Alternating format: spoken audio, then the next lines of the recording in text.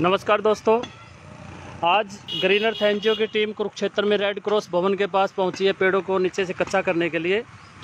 तो आपको मैं दिखाना चाहूँगा, देखिए ये रोड है और इससे कितना ऊँचा उठा के ये इंटरलॉकिंग लगाई हुई है और ये देखिए यहाँ तक लगाई हुई है। तो आप देखेंगे कि पेड़ों के नीचे बिल्कुल जड़ों तक टाइलें लगी हुई है।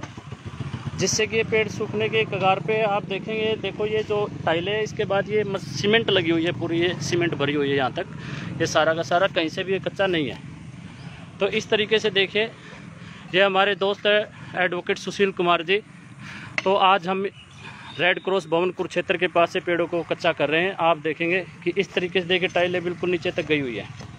और देखिए कि कितनी मुश्किल, ये पूरी तरह से फंसी हुई है, टाइलें बड़ा मुश्किल होता है। और आप देखेंगे ये पूरा कंक्रीट, ये यहाँ पे देखिए कंक्रीट ये पेड़ों के नीचे तक। देखिए कैसे, किस तरीके से स्टेम ये बिल्कुल कटाव शुरू हो चुका है इसमें।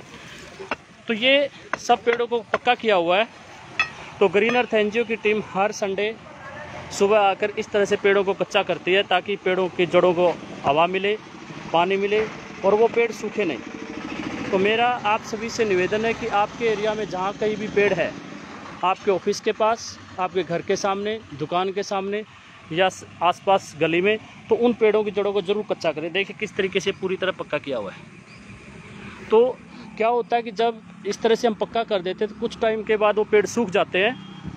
और जब हम बात करते हैं पेड़ लगाने की, पर्यावरण बचाने की तो ये बड़ा इंपॉर्टेंट है कि जो ऑलरेडी जो लगे हुए पेड़ हैं, इतने बड़े बड़े आप देखेंगे तो उनको पहले कच्चा किया जाए। और भविष्य में कहीं पर भी इस तरह से इंटरलॉकिंग टाइल्स या उनको कंक्रीटाइज ना किया जाए। आप देखेंगे पूरा दूर तक सारे पेड़ नीचे तक पक्के किए हुए हैं। तो ये कहीं ना कहीं हमारी लर्निंग का या हमारी समझ का या कोई और कारण है जिसके कारण से देखिए हम सब पेड़ों को नीचे तक पक्का कर देते हैं। और ये देखिए आप किस तरीके पूरी तरह कंक्रीट है, ये साइड में जो कच्चा दिख रहा है, कच्चा नहीं है कंक्रीट है। ये सारे के सारे पेड़ इस तरीके से कंक्रीटाइज किए हुए हैं। तो दोस्तों ये ग्रीन अर्थ एनजीओ की टीम हर संडे पेड़ों को नीचे से कच्चा करने का काम करते हैं, ताकि जो पेड़ हमारे ऑलरेडी लगे हुए हैं, वो सुरक्षित रहे सुरक्षित रहे। तो आप सभी से भी निवेदन है कि आपके एरिया में जहाँ कहीं पे भी कोई पेड़ इस तरह से पक्का किया, उसका कच्चा करें। और इसके बारे में एनजीटी ने बिल्कुल क्लियर डायरेक्शन दी हुई है कि किसी भी पेड़ के तने से कम से कम एक मीटर तक कच्चा रखा जाए, ताकि उसको हवा पानी मिलता रहे। और ये इंटरलॉकिंग लगाने का एक और बड़ा नुकसान है, क्योंकि जो बारिश का जो पानी है, वो ज़मीन में नहीं जा पाता।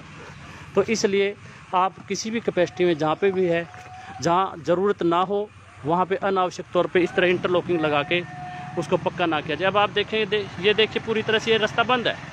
इसके ऊपर से कोई नहीं जाता इस फुटपाथ से। इसके बावजूद भी देख कितनी दूर तक इंटरलॉकिंग लगा के पक्का कर दिया गया है।